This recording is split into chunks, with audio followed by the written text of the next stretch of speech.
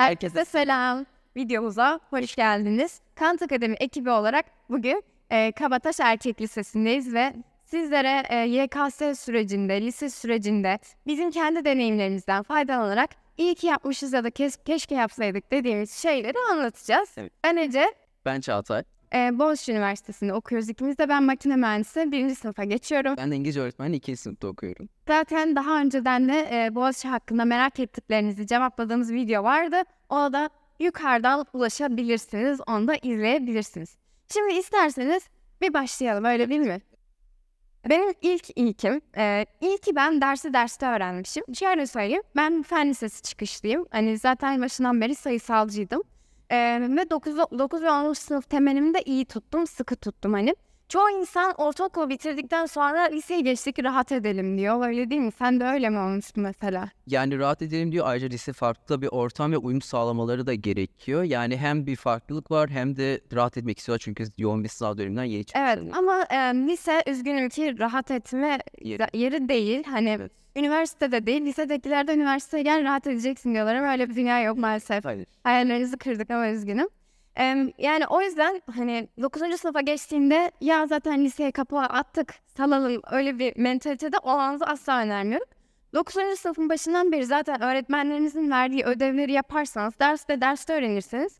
Hani okul sınavlarından gayet yüksek notlar alırsınız. TYT zaten hani e, 9 ve 10 sürecinde öğrenirseniz 11-12'de sizi çok rahatlatacaktır. Hani ekstradan çalışma yapmanıza gerek kalmaz. Ki AYT dersleri çok daha önemli. AYT konuları çok daha önemli, çok daha yoğun. Onlara daha rahat yoğunlaşabilirsiniz. Benim ilkim hocalarımla aramı iyi tutmam olurdu. Çünkü yani hocalarınız aranızı iyi tuttuğunuzda çalışmalarınıza hem daha çok katkı sağlıyorlar ve ellerinden geleni yapıyorlar. Aynı zamanda onlarla kurdu- kurduğunuz ilişkide hem siz de bir şeyler katma çabasına giriyorsunuz ve çalışmalarınızı birkaç kat daha arttırmış oluyorsunuz. Bu yüzden e, hocalarımla ben aramı iyi tuttum. Hatta e, onların boş derslerini takip ettim ve onlarla nasıl ne zaman konuşabilir ve bana bir şeyler öğretebilirler ve birbirimize bir şeyler katabiliriz. Hatta bazen öğretmenler öğrencilerinden de öğrenir. O yüzden e, hocalarımla iyi aramı iyi tuttum ve iyi ki de tutmuşum. Hala görüştüğüm hocalarım var. Benim de aynı şekilde şöyle özellikle de devlette lise okuyorsanız hani sizin birazcık hocalara yaklaşmanız gerek. Siz bir adım yaklaştığınızda onlar zaten size on adım yaklaşıyorlar. Gerçekten bir şeyler öğrenmeye hevesli olduğunuzu, hani, e, sorularınız olduğunu, kafanıza takılanları sorabilmeniz gerek rahat bir şekilde. Hani strese de girmeyin, sizi kimse, hiçbir hoca yargılamaz. Sen neden bunu yapamadın, neden bunu anlamıyorsun diye. O yüzden hocalarınızla aranızı iyi tutun. E, YKS sürecinde hani geleceğe yatırım 12. sınıfta çok fazla sorularınız oluyor. E, sorularınızı da teneffüslerde, boş e, vakitlerinizde hocanızı yakalayıp sorabilirsiniz. Diğer önereceğim şey bu aslında benim bir keşkem. 11. sınıfım benim pandemi dönemine gitmişti ve ben 11. sınıfta hiç ders çalışamamıştım. Hani canlı derslere giriyordum ama yani dinleyemiyordum. Canlı dersler bana göre değildi. Hani 11. sınıf konularının eksikliği özellikle hani elektrik ve manyetizma konusunu hiç öğrenememem 12. sınıfta benim bayağı bir ayağıma dolanmıştı. Ben 12. sınıfta hem 12 konularını öğrenmeye çalışmıştım hem 11 konularını öğrenmeye çalışmıştım. Başardım? Başardım ama hani siz bunu 11. sınıfta hallederseniz 12. sınıfınız çok daha rahat tempoda geçer. Şöyle ki benim mesela e, konu eksiklerim çok fazla olduğu için denemelerini son bir ay falan düzenli çözmüştüm. Hani e, normalde insanlar Aralık ayından itibaren deneme çözmeye başlıyor. Konularınızı zamanında öğrenirseniz, hani 11. sınıftayken sıkı tutarsanız, özellikle fen derslerini sayısalcılar için 12. sınıfta rahat edersiniz. Benim keşkem şey olurdu. ÖSYM sorularını daha iyi çözebilirdim. Özellikle e, ALES soruları olsun. Yani diğer e, alanların sorularını da katıp daha etkili bir çalışma yapabilirdim. Sonucumdan memnunum ama ALES sorularını çözme ya da daha e, diğer alanların sorularını çözme. Dilde de özellikle YDS YÖKDİL giriyor. Bu soruları çözme daha e, şey iyi bir çalışma yapabileceğimi düşünüyorum. Şöyle söyleyeyim ALES hakkında. Ben hiç ALES sorusu çözmedim ama koçlar burada ikiye ayrılıyor. Canlı yayınlarımızı takip ettiyseniz sene içinde zaten hani ben canlı yayınlarda da koçlarla tartışalım. Hayır ben ALES sorularını çözmedim ne gerek var? Onlar dedi ki ben çözdüm hani çözmeliler. Bu o yüzden size kalmış bir şey. Ama hani MEB'in kaynaklarını kullanmanız önemli gerçekten. Çünkü sonuçta hani o soruların benzeri çıkıyor sınavda. Çıkıyor. Bir de soruları hazırlayan insanlar belli. Yani insanlar bu soruları hazırlarken belirli şeyler düşünüyorlar ve bunları diğer alanlarda e, benzer şekilde düşünmeleri çok muhtemel. Ee, dolayısıyla özellikle sosyal derslerini önerebilirim. Hani tarih kitabını bir okusunlar. Mesela 12. sınıfın sonunda işte e, sınava birkaç hafta kala ben oturup sosyal çalışmıştım. Devlet kitaplarından falan okumuştum. Ve hani hayatımda hiç TYT tarihi fullleyememiş bir insan olarak gittim gerçek sınavda TYT tarihi fullledim. Çünkü kitabı tekrar etmiştim. Yapacağınız son tekrarlar da çok önemli. Hani bunu şimdiden söyleyeyim. Sayısalcılar şu anda sosyale çok fazla önem vermiyor olabilir. Hani bu da normal. Ama denemeler çözdükçe, e, deneme analizinden de bahsedelim bak daha biraz. Denemeler çözdükçe hani sosyal sorularını görmeniz son birkaç ay kala da özellikle hani coğrafyaya biraz daha erken başlayabilirsiniz ama diğer sosyal konularına çalışmanız önemli olacaktır diye düşünüyorum. Ee, Benim ilkim bu konuda şey olabilir. Yani deneme analizlerini iyi ki çok detaylı bir şekilde yaptım. Arkadaşlarımı toplayıp onlarla tartıştım ve e, yani deneme sonrası denemeyi bir kenara bırakıp sonrasında konu çalışmaya ya da başka bir şey yapmaya devam etmedim. Çünkü elinizde bir sorun var ve yani bu sorun her zaman oluşabilecek bir sorun. Bunun sürekli üzerinde durması gerekiyor. Yani her denemenin sonrasında hocalarımla bir saat olsun tartıştık. hat- Bu yüzden yani ilk yapmışım ve hatta yani eğlenceli vakitlerde geçirdim bunları tartışırken. Deneme analizi konusunda ben de şunu ekleyebilirim. Ben 12. sınıfın birinci döneminde deneme analizlerine pek önem vermiyordum.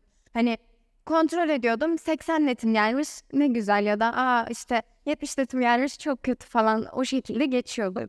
Ama ikinci dönem fark ettim ki aynı hataları üst üste yapıyorum ve aynı sorular. Ece otur çalış denemelerde yapamadıklarını öğren yani. Aklın yolu bir. Ben de ikinci dönem ne yaptım? Bütün denemelerimi geçmişten yaptığım denemeleri topladım. Denemeleri verdim. Yanlış yaptığım soruları kesin yapıştırdım. Evet hatta şey dosyanız oluyor. Yani yanlış soruları top biriktirdiğiniz sonra ÖSYM'nin soruları oluyor ki yani özellikle bence ben öyle yapmıştım. ÖSYM'nin sorularını özellikle biriktirdim ve sınav sınava bir hafta kala hepsini bir gözden geçirmiştim. Ben de bu denemelerde yapamadığım soruları deftere yapıştırdım.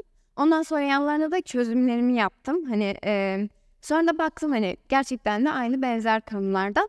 Deneme analizi konusunda da soru defteri hazırlamanızı size öneriyoruz. Bunu aslında dijital bir şekilde de yapabilirsiniz. Fotoğrafını çekersiniz, işte bir klasör açarsın telefonunda oraya koyarsın. Bunun için uygulamalar da şu an gelişiyor. Yani e, bizim zamanımızda belki bu kadar değil yine güzeldi ama hani şu an denemeler için de yeni yeni şeyler var ve e, bunlardan da faydalanın. Evet kesinlikle. İyi ki ben e, sınav sürecinde pes etmemişim ve kendime ders çalışmayı zorunlu hale getirmişim. Pes etmemek de şöyle. Hani 12. sınıfta ben hem okula gidiyordum hem dershaneye gidiyordum. Hani özel ders aldığım bir dönem oldu ve hani aşırı yoğun bir süreçti. Siz düşünün. Ya ben de insanım yani. İlla ki yoruluyoruz ve artık yeter hani bitsin bu süreç. E, tıkandım diyoruz. Buna rağmen disiplininizi koruyup sürece devam etmeniz sizi daha somut götürmenizi sağlayacak. Daha sürekli sağlıyor. Yani. Evet. Evet. Oturup hani Aralık ayında bırakırsanız çalışmayı kopar. Yani o zamana kadar çalıştığınız şey de boşa gitmiş. Kesinlikle. O yüzden e, zaman zaman yavaşlasanız da sürekliliğinizi devam ettirmeniz gerekiyor. Ee, Benim ilkim de şu olabilir. Ee, Sınavda, sınav sürecinde özellikle birçok sorunla karşılaşıyorsunuz ve bunun sonrasında iyi bir sonuca varacağını bildiğiniz için o sorunları olabildiğince e, zararsız bir şekilde atlatıyorsunuz. Yani yorulabiliyorsunuz, dinlenmeniz gerekiyor, sosyallik ihtiyacınız olabiliyor. Bunları minimum bir şekilde karşılayıp devam ettim ve e, çünkü o süreci yönettikten sonraki kısımda zaten bunları rahatlıkla yapabilecektim ve bunun belirlebilecek bir yıl olabileceğini biliyordum ve sonrasında zaten iyi ki de vermişim diyorum. Evet arkadaşlar bana da hani e, sık gelen sorulardan biri hani YKS sürecinde biz hiç sosyalleşmeyelim mi? Biz de insanız ne yapalım falan. Tabii ki de sosyalleşeceksiniz arkadaşlar ama hani bunun e, belli bir oranda olması gerek. Çünkü üniversiteye gittiğinizde gerçekten çok daha farklı hani sosyalleşebileceğiniz bir ortam. Bir sürü etkinlik oluyor. Hele de ki bizim gibi Boğaziçi Üniversitesi'nde okuyorsanız bir sürü etkinlik var. O yüzden şimdilik sosyalleşmenin oranını biraz azaltın, biraz kısıtlayın.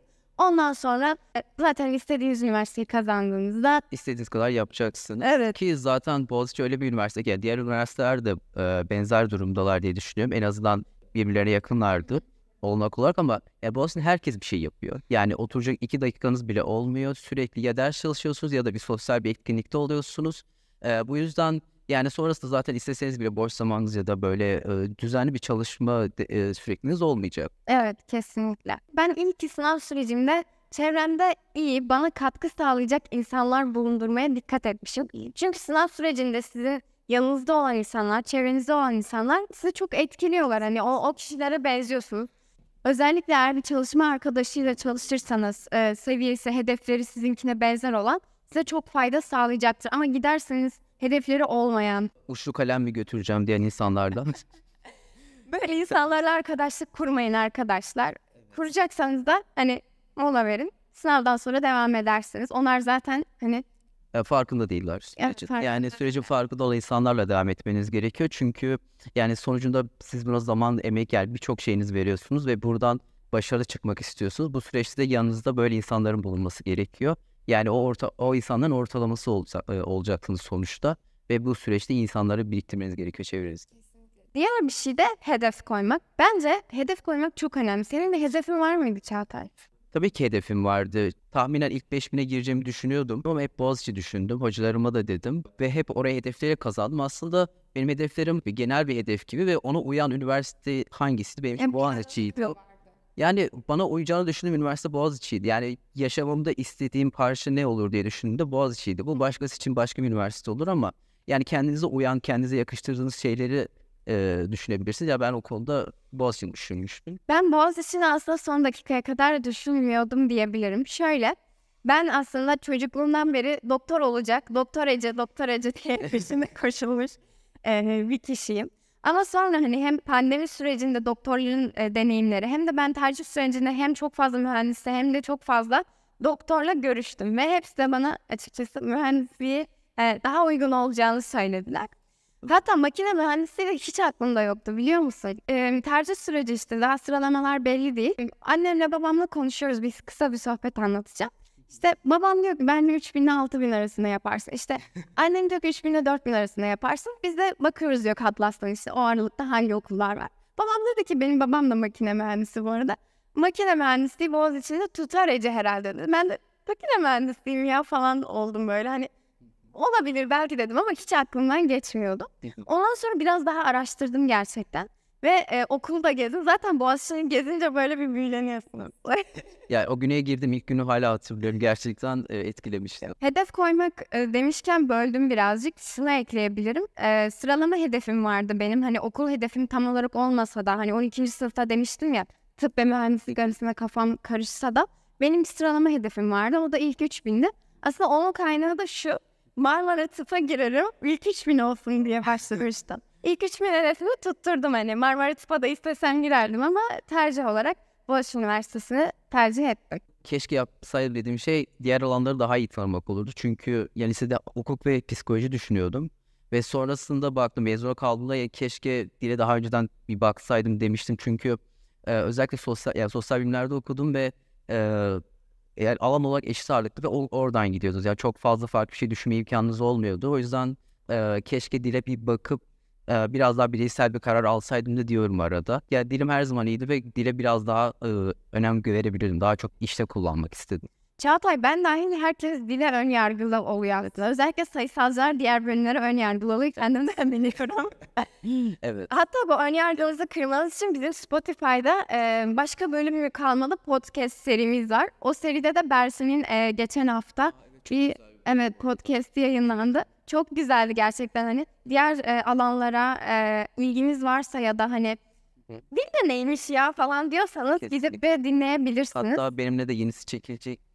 Evet çekilecek Çağatay'la da takipte kalın lütfen. Evet. Bütün sosyal medya hesaplarımızda hem Instagram'da paylaşımlarımız oluyor. Sizler için e, tavsiyeler veriyoruz. İstekleriniz olsa sürekli video atmayı planlıyoruz ve onun için yani istediğiniz video fikirleri ya da başka şeyler olursa oradan da e, sizi içerikle yani destekleyebiliriz. Kafanıza takılan her şeyi de yorumlara sorabilirsiniz. Ben e, şöyle ki sayısalcı başladığım için zaten fen lisesine girişte olduğum için hani ak- kafamda başka bir alan yoktu. Hani bir de direkt tıp diye girmiştim. Evet. Yani e, önemli olan nerede daha iyi yaptığınız oluyor sonucunda. Yani bir şey e, iyi olduğu söylenebilir, dıştan öyle görünebilir ama siz orada daha iyi bir iş yapacak da olabilirsiniz. Bu yüzden aslında kendinize bakıp e, nerede neyin nasıl daha iyi yaptığınızı incelemelisiniz. Ya dışa çok e, odaklanmak mantıklı değil. Evet. Kendinizi keşfetmenizi e, umuyoruz bu süreçte. E, umarız yardımcı olabilmişizdir. Bugünkü ilk ve keşkelerimiz bu kadardı bence. Evet. Devamının gelmesini istiyorsanız yorumlara yazabilirsiniz. Her zaman e. Olursa- Evet kesinlikle. Kabataş Erkek Lisesi'nden size hoşça kalın diyoruz o zaman. Sonraki videolarda görüşmek üzere.